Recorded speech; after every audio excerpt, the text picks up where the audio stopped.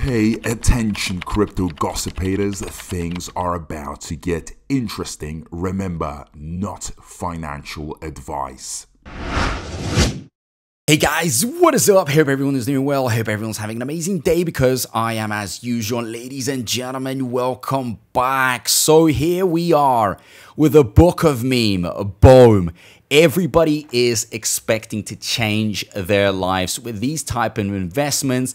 As we know it you know not long ago BOME has shown the world what it can do and it can do a lot. So in two days got listed by binance. All the big exchanges went in. The big exchanges still holding a lot of BOME but having said that all right you're probably thinking well are you going to tell us right now whether it's going to go 100x, 1000x, absolutely parabolic?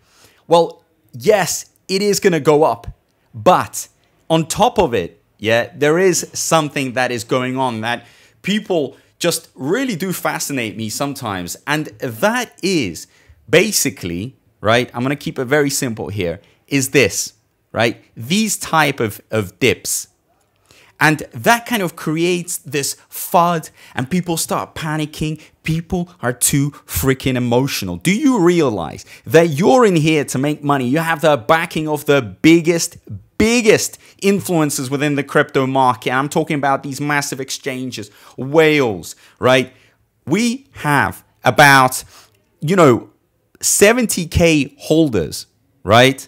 Um, book of meme. Supply isn't that that massive when you compare it to like for example Shiba Inu. So there's a lot of potential to actually move it, to pump it. It could go to a dollar. It could 10x, 50x um, market cap, guys.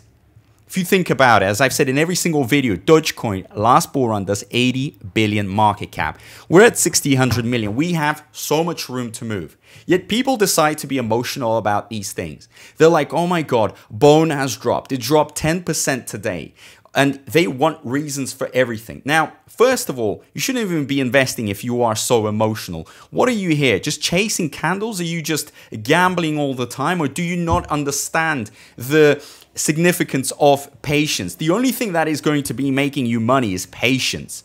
Yeah, I know when I when I open a chart like this, any investor is going to be like, oh, okay, I wish I could have gotten here, right? Gotten in here and I would have cashed out here. First of all, you would have never known, right? Because getting in here is pretty much like getting in into any meme coin and cashing out here, well, you wouldn't have known that either, right? Because if you had your uh, take profit, um, you know, placed, maybe you would have placed it at 5x or whatever, or 2x. And on top of it, guys, you wouldn't have known, and maybe you would have gone through the roof. So you maybe a lot of a lot of the investors actually cashed out over here. Or they cashed out over here. Nobody knows exactly where is it going to stop, where is it going to peak and then go down. But the most important thing, which which you guys should start understanding if you're getting very emotional about this and you're writing to me, well, okay, it's gone down. Look at it, it's consolidated. If this was rubbish, if it was done, if it was over for it, right? If it was complete trash, then it would have just dropped and we wouldn't have seen anything. We would never have recovered. But guess what? Here there's there is a lot of support. Right? There's support for a reason. Yes, it's bouncing up and down in these small ranges, which is very normal, healthy crypto activity. But in general, ladies and gentlemen, you got to start understanding the real, real way of investing. You put the money in, you wait for the big event, it goes up, and then you take your profits. Okay? And those that start chasing the candles, you're selling your BOME to those that are chasing these candles when it starts going up because they're trying to, you know, catch the wave. We have no reason to be catching any waves here because we are already invested into this, right? It's all automatic. We already know what is going to happen. The alt season's coming in, Bitcoin halving, 6, 12 months later on. This thing is going just berserk, just insanely high.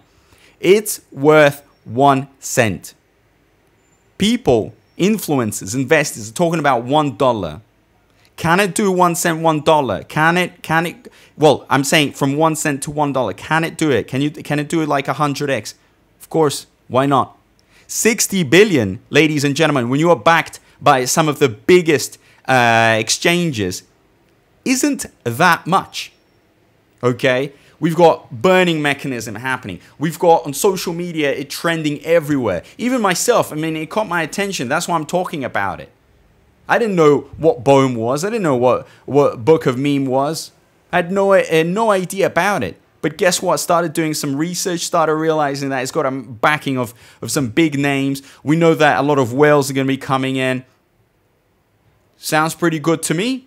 I want to be where the smart money is. I don't want to get emotional. Oh my God, it dropped, it dropped by 10%. Oh, I should be selling out. Well, listen, if you have this type of mentality, if you genuinely believe that all the cryptos just go up and up and they never drop at all, not even 1% down, well, I think you're living in some dreamland like open your eyes and start understanding you know what what these cryptos are all about and you know what you you want me to give you a reason why why it dropped right so i'm going to pull out the 24 hour chart since some of you have this crazy obsession of looking at these smart charts which in my uh, opinion are absolute poison I'm sorry to say that, but they're absolute poison. If nothing is happening in the in the market, no big events, and you're just looking at these 24-hour uh, charts, it is going to drive you wild. It is going to drive you mental. Because when nothing big is happening, it could be just whales taking their profits. Someone just took their profits before the Bitcoin halving because many people also believe that this could be a situation of, you know, uh, buy the rumor, sell the news. So when the Bitcoin halving hits that first day, everything drops down.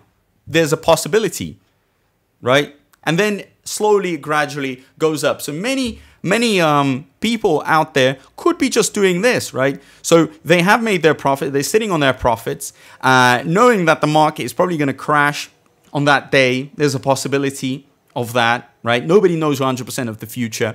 If it crashes down, they sold now, they took their profits, and then they just buy up the dip and they're back in and strong. Okay, everybody's got their strategy.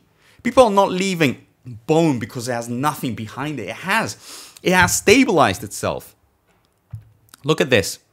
Top meme tokens by market capitalization. 59, right? 59 billion. We are in the meme era. This is the period of time that everybody's talking about the memes. Where's the money going? It's going into the meme coins. It's true, right? I'm going to pull up this chart. Look at this. Meme coin ranked number one, the biggest crypto narrative, 1,312%. The second biggest crypto narrative, RWA, is six times less than this, five to six times less. Do you understand that every sophisticated investor right now has their categories lined up on their Excels, right? And they're investing into their categories. And when you look down into the meme category, you're making, I don't know, five to 10 investments, I imagine, book of meme hits the top 10. One, two, three, four, five, six, seven. It's in the top 10. So that means it's, you know, there's less risk because there's so much money in there. The market cap is too large for it to just drop. And on top of it, ladies and gentlemen, this has this has a lot of room still to grow. Because, you know, when we look at the meme coins, who are we always comparing to? It's the two big boys that have been around for the longest. Dog with, uh, with Hat is recent. Pepe is quite recent. Flock, well, Bonk, Book of Meme. Floki's been around. But the point that I'm trying to make here is that this is the season for the meme season. So if you are freaking out because you're seeing the red, this is this is celebration time. When I wake up and I see red in front of my screen, I'm like, buy, buy, buy, buy, buy. I gotta be buying. Not buy, buy this way, but buy, buy, come to me. Bought, purchase.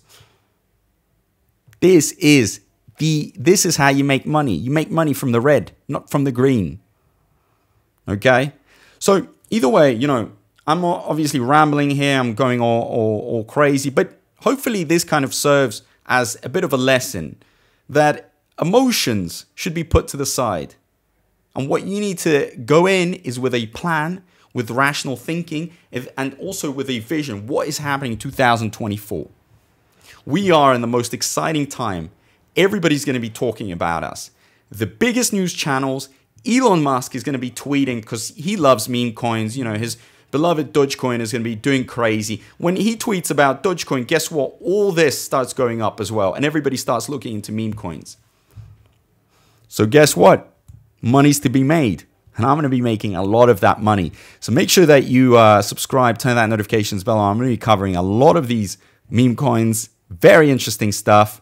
And as usual, guys, a big thank you to everyone. I appreciate all the support, and I'll see you in my next video. Peace out.